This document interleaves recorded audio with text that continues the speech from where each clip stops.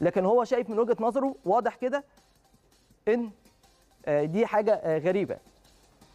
لكن بيقول لك في النهاية سافر رمضان وكلام من ده واحترف يعني بعد مفاوضات حققت مصلحة الطرفين. لكن في حقيقة برضه أنا عايز أقولها لحضراتكم إن النادي الأهلي ما وافقش على احتراف رمضان في التوقيت ده غير بضغط كبير جدا من اللاعب وببعض التصرفات اللي أكيد حضراتكم عارفينها. وتصرفات عشناها في التوقيت ده من قبل اللاعب نفسه اللي هو رمضان آه، آه، صبحي. فبالتالي كان الطريق الوحيد في التوقيت ده عند المسؤولين الموجودين أو مجلس الإدارة الموجود إن هو يوافق على احتراف اللاعب. يعني الموضوع جه بضغوط كبيرة جدا على النادي ال- الأهلي يعني. تمام؟ نروح لجزئية أخرى. وهو بيتكلم كمان بيقول لك إيه؟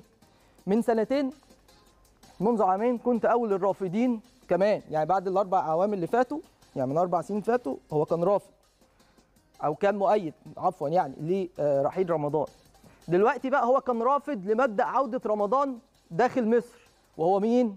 كابتن النادي الأهلي اللي هو مين؟ شريف إكرامي قائد فريق النادي الأهلي. كنت أول رافضين لمبدأ عودة رمضان داخل مصر. برغم حبي للأهلي وعلمي باحتياج النادي له حينما أو حينها سواء بالأعارة أو البيع. يعني هو الراجل إيه؟ بيقول لكم يا جماعة شريف بيقول لكم يا جماعة إيه؟ أنا بحب الأهلي قوي وبقدر النادي الأهلي قوي بس كنت رافض بصراحة إن رمضان يرجع وهو كابتن ال- النادي الأهلي رغم حبي للنادي الأهلي. أي حب يا كابتن شريف؟ أي مسؤولية تتكلم عنها؟ أنهي انتماء بتتكلم عنه يا كابتن شريف؟ حب إيه وانتماء إيه وكلام إيه؟ هو في قائد للنادي الأهلي قائد كابتن النادي الأهلي يكون بيحرض اللاعبين على الرحيل؟ أو يحرض اللاعبين على عدم العوده للنادي الاهلي مع اعترافك انت بتعترف ان الاهلي محتاجه والاهلي عايزه. هو حضرتك بتلعب في الاهلي ليه؟